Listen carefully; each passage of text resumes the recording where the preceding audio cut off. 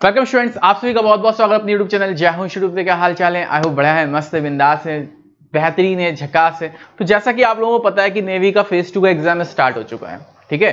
अब बात आती है कि फ़ेज़ टू जो स्टार्ट हुआ है, उसमें पेपर कैसा आ रहा है? किस तरीके की चीज़ें हो रही हैं? बच्चों का एग्ज़ाम कैसा जा रहा है? ठीक है? और जिनका एग्ज़ाम आगे है, उनको आगे क्या क्या सावधानी रखनी चाहिए? और जो पेपर देके आए हैं, उन्होंने कितना स्कोर किया है? कि वो आगे सेफ़ है या नहीं है। बात यहाँ पे आ रही है, ठीक है? तो अगर हम ओवरऑल बात करें तो हम पूरी एक यहाँ पे एनालिसिस आपको बताने जा रहे हैं कि जो पेपर करके आए हैं और जो पेपर करने जा रहे हैं, क्योंकि अभी आपका पेपर काफ़ी दिन चलना है नेवी फ़ेज़ टू का, ठीक है? वो कैसे करें, अपनी स्ट्रैटेजी को कैसे फॉलो करें तो हम लोग यहाँ पे बात करते हैं। तो जैसा कि आप लोगों को पता है कि नेवी जो फ़ेज़ टू एग्ज़ाम ले रहा है, ठीक है? वो अपना एग्ज़ाम वो पूरे हंड्रेड मार्क्स का एग्ज़ाम ले रहा है। सभी को मालूम है। जिसमें अगर मैं मैथ्स की बात करूँ, साइंस की बात करूँ, मैं फिजिक्स की बात नहीं कर रहा यहाँ पे, ठीक है? और आपके पास जीके जीएस या रागा की बात करूँ, ठीक है? या सीधे सीधे मैं रागा बोल दूँ इसको। और अगर मैं बात कर रहा हूँ या इंग्लिश की, ठीक है? तो आपको पता है मैथ्स 25 साइंस 25 रागा 25 एंड इंग्लिश 25 ये 25 25 25 मार्क्स के आपके क्वेश्चंस बन रहे हैं, ठीक है? मतलब 25 मार्क्स के इसमें है 25 25 25 टोटल 100 बन रहा है। अब बात करते हैं कि साहब कट ऑफ़ क्या जाएगी, ठीक है? बात आती है यहाँ पे कट ऑफ़ की। देखो, फिर बताऊँ, हमेशा जैसा लास्ट ईयर नेवी ने किया था कि जो फ़ेज़ वन है, काफ़ी सारे बच्चे ओवर एक्साइटेड हो जाते हैं, यार मेरा फ़ेज़ वन तो क्लियर है, अब फ़ेज़ टू में अपनी बल्ले बल्ले है। ठीक है? फ़ेज़ टू तो क्लियर हो जाएगा। काफ़ी सारे बच्चे बहुत ज़्यादा खुश है। कि सर मेरा फ़ेज़ वन क्लियर है। ओ भाई, कौन सी ज़िंदगी जी रहा है तू? Navy phase one maximum approx में बताओ 70 परसेंट का क्लियर है। मेन टास्क तो फ़ेज़ टू है। नेवी हमेशा फ़ेज़ टू आपका टास्क अच्छा करता है। तो जो मैरिड बनेगी फ़ेज़ वन में तुम पास हो गए बहुत अच्छी बात है। ठीक है? बैंड बाजा बजाने की आपको ज़रूरत नहीं है कि आप वहाँ पे जाके बैंड बाजा घर के बाहर बजवा रहे हो, क्योंकि अभी आपको हंसने की ज़रूरत नहीं है। क्योंकि अब जो मेन एग्ज़ाम है, वो नेवी फ़ेज़ टू था। अब बात आती है कि नेवी फ़ेज़ वन से फ़ेज़ टू की कट ऑफ़ कितनी ज़्यादा जाएगी?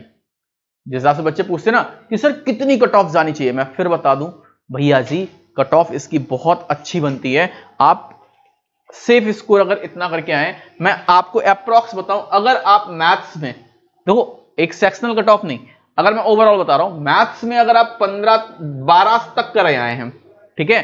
साइंस में आप 12 से 13 निपटा आए जीके जीएस रागा में अगर आपने 10 भी कर लिए और इंग्लिश में आपने 10 से 12 भी कर लिए तो कितना हुआ? तीन दो पाँच दो सात, एक दो तीन चार फोर्टी सेवन कितना हुआ? फोर्टी सेवन तो ये मान के चलो आपके फोर्टी सेवन मार्क्स हैं। तो आप कुछ स्टेट्स में, समस्या ये है, यहाँ पे क्या होता है? स्टेट वाइज जाती है।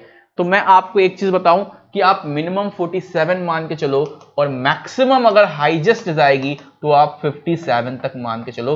इससे ज़्यादा आपकी कट ऑफ़ नहीं जाएगी। ठीक है?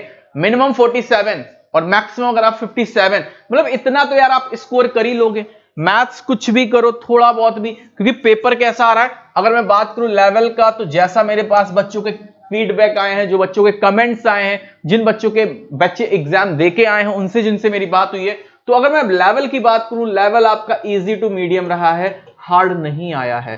बहुत आसान लेवल था। काफ़ी सारे बच्चे तो बोल रहे हैं, सर सुपर थर्टी से आ गया। लेकिन मैं हर बार सुपर थर्टी नहीं हाइप करूँगा। आप भी कहोगे, sir super thirty super thirty super thirty क्या है ये सुपर थर्टी तो सुपर थर्टी आपकी जो स्टार्ट हो रही है, वो स्टार्ट हो रही है। आप लोगों को बता दूँ कि भैया कल से स्टार्ट होने वाली है और वो आपकी जय इंस्टीट्यूट एप्लीकेशन पे स्टार्ट होगी। तो जिस बच्चे ने एप्लीकेशन डाउनलोड नहीं किया है, वो जाके प्ले स्टोर से जाहो इंस्टीट्यूट एप्लीकेशन इंस्टॉल कर लो। अगर आपको कोई भी दिक्कत है, कोई भी क्वेरी है तो नाइन इस नंबर पर सुबह आठ बजे से सुबह सॉरी आठ कर दिया मैंने।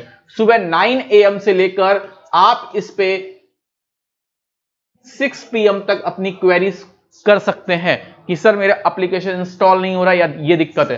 तो ये आपका एप्लीकेशन का नंबर है। कुछ भी पूछना है, आपको कोई मैसेज करना है तो आप इस नंबर पे मैसेज कर सकते हैं। तो आपकी जो क्वेरी है, वो रिजॉल्व हो जाएगी। तो भैया, आप अगर 47 से 57 के बीच में आए हैं करके तो तो बहुत अच्छी बात है। अब आती है कंफर्ट जोन में जाना। तो मेरे प्यारे से बहुत सारे बच्चे ऐसे हैं जो कंफर्ट जोन में चले गए कि सर हम ऐसा है नेवी में तो हो गया है। अब हम एयरफोर्स का एग्ज़ाम जो आ रहा है आराम से देंगे। तो मैं पहले आपको बता दूँ अगर आप ऐसा सोच रहे हो कि आप एयरफोर्स का एग्ज़ाम बहुत आराम से दोगे तो बहुत गल, बड़ी गलत फहमी में हो। क्योंकि एयरफोर्स का जो पेपर आने वाला है वो पंद्रह तारीख आपका पंद्रह अक्टूबर से होने लगेगा। ठीक है? नेवी में नहीं हुआ तब क्या करोगे? प्लान बी क्या है आपके पास? कोई प्लान बी है? नहीं है ना?